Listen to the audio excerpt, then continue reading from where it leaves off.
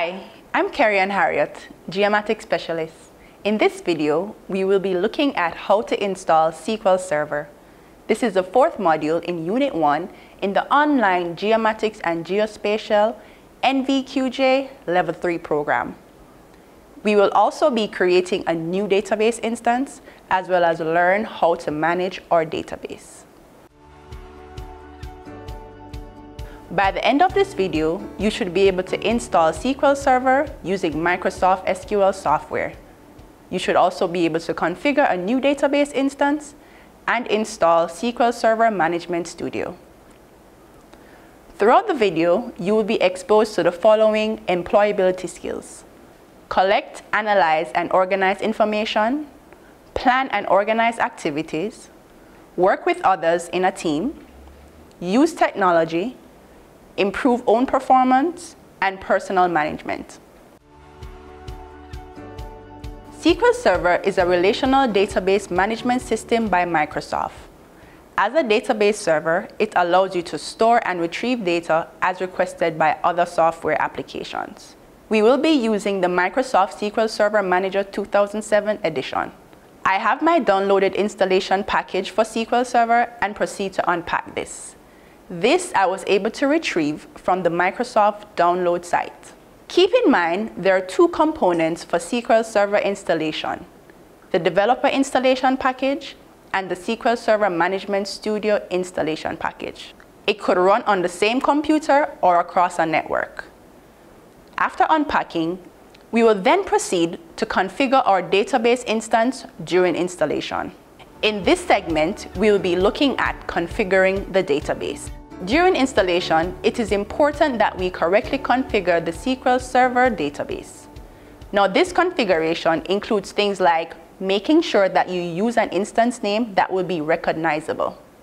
You will also be able to configure things like how users will access this database, whether the database administrator will issue usernames and passwords, or will the database administrator allow users to connect via a Windows authentication mode. You will proceed to complete your database configuration by selecting the features of your database to include features such as allowing your database to be distributed or replicated. You will also apply your configuration startup type, whether each feature will start automatically or if you will need to do a manual start. You can see the installation progress as it completes each step.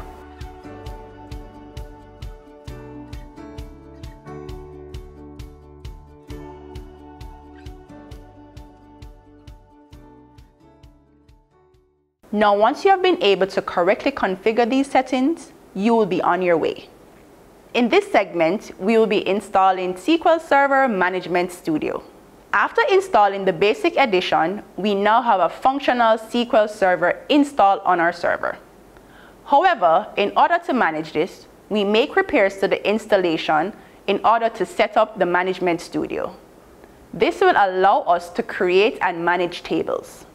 I already have the package in my list of downloads, so I can proceed to download this and make a repair so I can add another component to my instance. Once it opens, I can add features to an existing instance. I can also run my installation from here to create a new instance.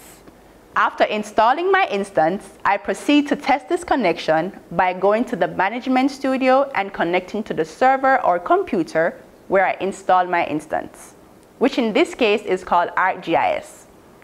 And I'm using a Windows authentication mode to log in. Now that I've logged in successfully, this proves that my connection was properly installed. And I'll now create a database here for which I will use as my enterprise database in the ArcGIS platform.